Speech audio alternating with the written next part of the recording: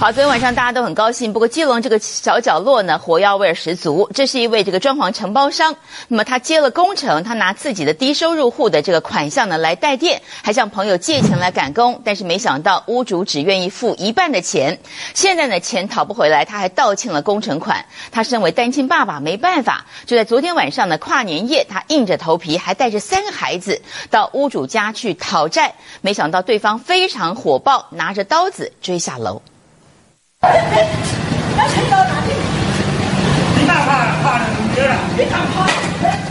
白内衣黑背心的男子不断想往前冲，被家人制止往后推。原本拿在手上准备要丢出去砸人的砖块，也就随手甩在路边。因为到垃圾时间，遭装潢承包商拿大声公追讨快七十万的工程款，不堪街头巷尾议论纷纷，竟然拿刀追下楼，把邻居给吓坏了。他好像有拿红砖头啊，然后有拿刀子。他妈妈跟我接洽的第一张估价单跟第三张估价单啊，就全部一概一概的否认掉。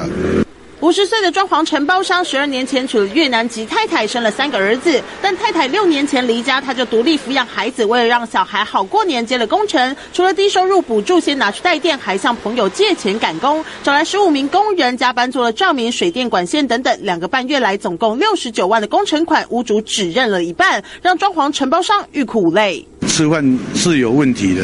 这次真的是硬撑着把这个工程来赶好，啊，为了就是也是怕说冬天到了买些衣服给小朋友穿，就是因为要停车，然后把它移到旁边了，